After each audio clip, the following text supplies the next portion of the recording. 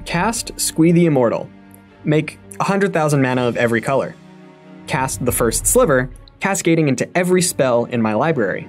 This might be what you hear when the game ends, but what's actually going on behind the scenes? Welcome back to Better Know a Combo, brought to you by the Spike Feeders.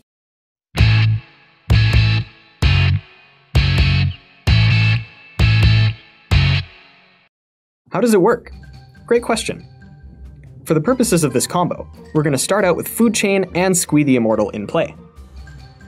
Exile Squee to Food Chain to add 4 red to my mana pool. Using 3 of this 4 red, cast Squee from Exile. I can do this any number of times, and once I have enough red mana, I can exile Squee to make the other colors of mana as well. Now I'm sitting on a pile of mana, but it can only be spent on creature spells. That's where the first sliver comes in. Cast the first sliver from my command zone, triggering Cascade. When Cascade resolves, I'll cast the first spell I exile off the top of my library with CMC 4 or less. Now, I'll exile the first sliver to Food Chain, and we're back where we started. Now that we've established that I can cast every spell in my library with CMC 4 or less by recasting the first sliver, which spells help me close out the game? I can basically pick the way I want to win, but here are a few examples enters the battlefield or leaves the battlefield triggers, such as Lavabelly Sliver and Outpost Siege, fit in here. Your classic storm wind conditions, like Aetherflux Reservoir, Tendrils of Agony, or even Grapeshot, or anything that triggers off of creatures dying, like Blood Artist and Cruel Celebrant, but you'll need a sacrifice outlet to make this happen. Incidentally, some of these sacrifice outlets, like Goblin Bombardment and Altar of Dementia, will work on their own. As you may know, Eternal Scourge and Misthollow Griffin can take the place of Squee the Immortal, However, they can't be cast from your graveyard. You can also use a ton of different commanders to close out the game. The most popular other options are Niv Mizzet Reborn and General Tazri. This sounds awesome, but how can people interact?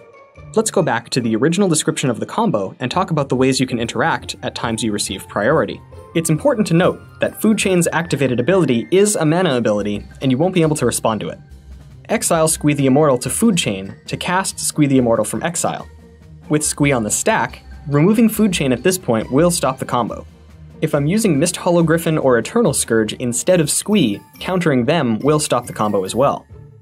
You could also counter Squee here as well, but it's a temporary solution at best. I may have enough mana to recast him immediately, or he'll just be in my graveyard for me to cast next turn and try again. Gather Specimens will prevent Squee or the first sliver from entering the battlefield under their owner's control. This'll do it, but I don't recommend owning a copy of Gather Specimens. That's it. Food Chain is the central piece of this combo, and if you're looking to interact, you need to deal with it specifically. By the time I have enough mana to start casting the first sliver, there aren't really a ton of good ways to interact, because I can just keep casting it. It doesn't even need to resolve to cascade. Sometimes, you're not playing reactive spells like that, and prevention is going to be the best medicine. How can we prevent this from happening in the first place? Shut them down. This combo requires its controller to cast a lot of spells. A one mana tax effect can go a long way. If Squee costs one more to cast, the loop doesn't net mana.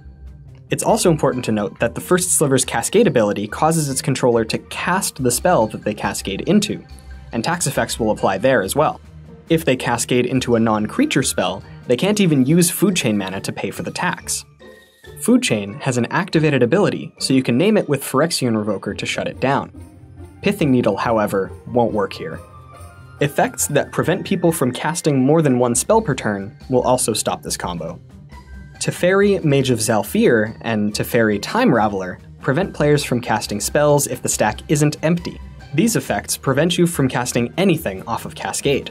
They won't stop Squee, but they will stop the first sliver from digging for a win condition.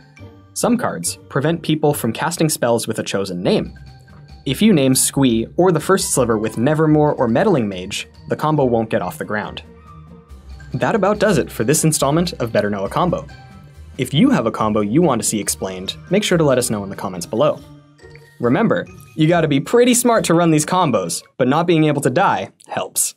Hey, thanks for checking out the Spike Feeders on YouTube. If you like this content and you want to see more, make sure you click subscribe. If you love this content, click on the link to our Patreon.